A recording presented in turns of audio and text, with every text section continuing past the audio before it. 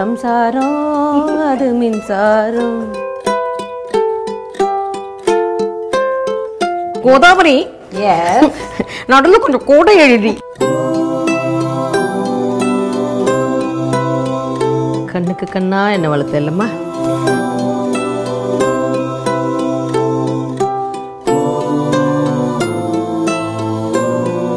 எம்ஜிஆர். அவர் வந்துன்னா எல்லாருக்குமே ஃபேவரெட்டு அவர் வந்து எங்கள் அம்மாவோடைய fan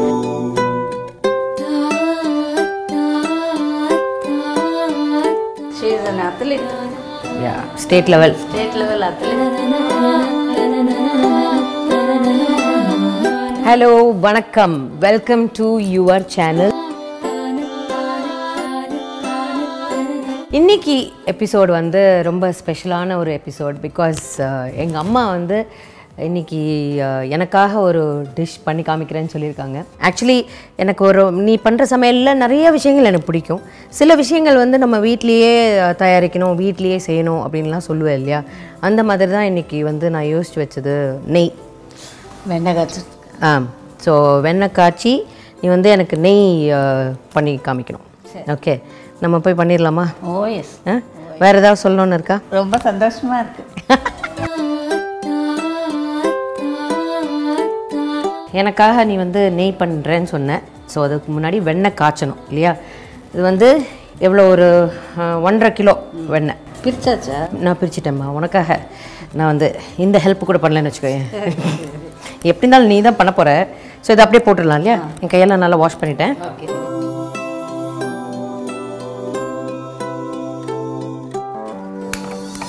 சிம்மில் வைக்கணுமாம்மா? இல்லை ஹைல வை ஹை. ஆ.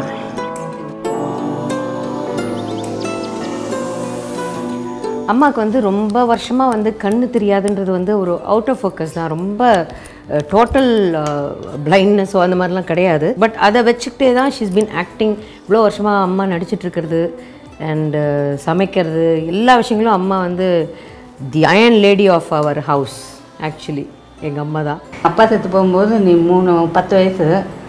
அப்போலேருந்து உன்னை தனியாக நான் தானே வளர்த்துருக்கேன். இந்த கண்ணோடு தானே வளர்த்தேன். அப்பா இருக்கும்போதே கண்ணு பா ப்ராப்ளம் ஆயிடுச்சுல்ல. கண்ணுக்கு கண்ணா என்ன வளர்த்த இல்லைம்மா வாட் அ டச்சிங் டைலாக்யா நீ தான் எனக்கு கண்ணு. கண்ணு தெரியாதுன்னு சொன்னேன். எனக்கு கண்ணு தெரியாதுன்னு இல்லையே நீ இருக்கல்ல. சூப்பர் டயலாக் அமர்க்கலாம். இல்லை? It's not and joke yeah I know it is not a joke joke பண்ணவே இல்லைடா. நான் எப்பவுமே சிரிச்ச மூஞ்சி தான். படத்துல தான் அழு மூஞ்சி. கோதாவரி. ஏ நடுவில் கொஞ்சம் கூட எழுதி. அப்புறம் என்னமோ என்னை பற்றி பெருமையாக பேசினேன் அது கண்டினியூ பண்ணு. ஆ சமையல். சமையல் வந்து நீ கல்யாணம் ஆகிற வரைக்கும் ஒண்ணுமே தெரியாது. ஒன்று நான் காய்கறி நறுக்க கூட விட்டதில்லை. அப்பெல்லாம் அருவாமனை எல்லாம். ம். கீழே உட்காந்து அருவாமனையில் தான் கட் பண்ணுவோம். கத்தியெல்லாம் கிடையாது. கரெக்ட் ஆனா நீ கல்யாணம் ஆகி போனதுக்கப்புறம் கத்தி கத்துண்ட. கத்தி கத்துனா கத்தியால கட் பண்ணதுக்கு கத்தியால கட் பண்ணதுக்கு கத்துண்டமா அம்மா செய்கிற அந்த வந்து அரைச்சி விட்ட சாம்பார் பண்ணு.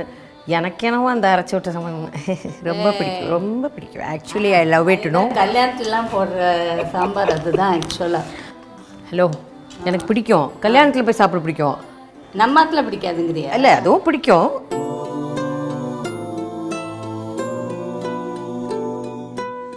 இந்த கொதிக்கிறதெல்லாம் அடங்கும். ம். அடங்கி ஒரு மாதிரி கள்ளி. நான் அதை தான் நான் சொல்லின்னு இருக்கேன். அது இல்லைம்மா.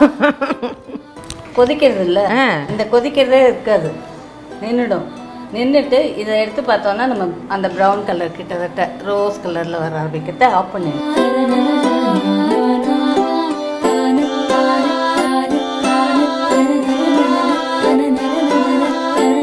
an athlete, yeah state level state level athlete. என் பிள்ளைங்க காஞ்சி போக வேண்டியது ஜாவ்லின் த்ரோல நான் தான் நிறுத்திட்டேன். எனக்கே கஷ்டமா இருக்கு. இல்லைன்னா இவ ஒரு பெரிய ஸ்போர்ட்ஸ் கேர்லா வந்திருப்பான் யாருக்கு என்ன எழுதியிருக்கோ அதாங்க நடக்கும். ஸோ ஸ்போர்ட்ஸ் நான் வந்து நிறுத்தினதுக்கு காரணமே அதான். படத்தில் நடிக்கணும்ன்ட்டு.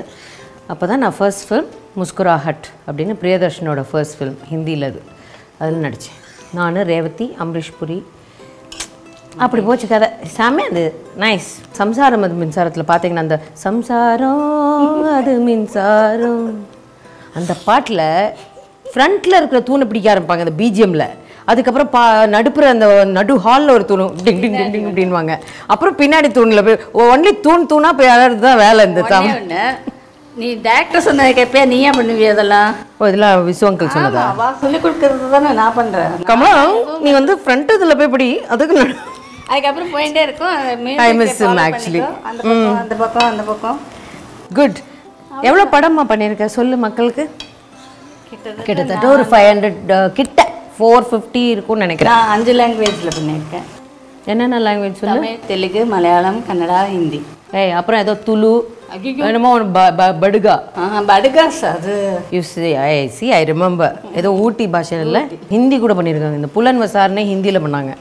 மிதுன் சக்கரவர்த்தி. வந்து நான் ரீமேக்கில் தமிழ் தெலுங்கு தெலுங்கு தெலுங்கு இல்லை கன்னடா தமிழ் மலையாளம் மலையாளம் தமிழ் அந்த மாதிரி நிறைய பண்ணியிருக்கேன் I think she's talking about இந்த குடும்பம் ஒரு கதமம்னு ஒரு படங்க.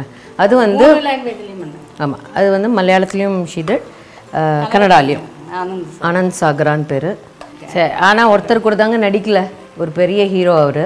அவர் கூட நடிக்கல. பிரபு கூட நடிச்சதே இல்லை. கரெக்டா எப்படி?